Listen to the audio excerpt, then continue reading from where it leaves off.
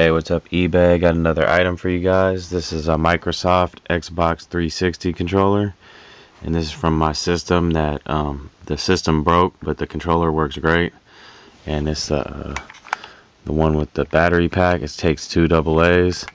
And this came original with my Xbox. So I don't have my Xbox anymore, or I'm selling it on eBay as well for parts, but um, I'm also selling the accessories and games and stuff. So here's the controller, and um, it works great. here, I'll show you guys it works. It goes on, all the buttons work good. So yeah, there it is. If you guys got any questions, let me know. And uh, thanks for checking out my auction.